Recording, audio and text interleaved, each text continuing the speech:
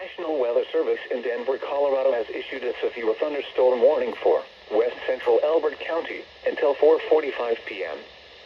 At 4:13 p.m. Mountain Daylight Time, a severe thunderstorm was located 5 miles southwest of Elbert, or 22 miles north of Colorado Springs, moving east at 35 miles an hour.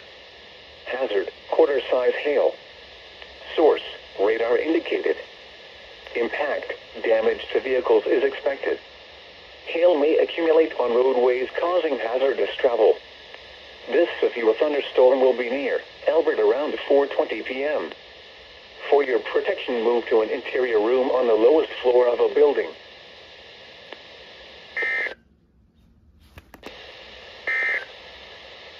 Flood watch remains in effect until 10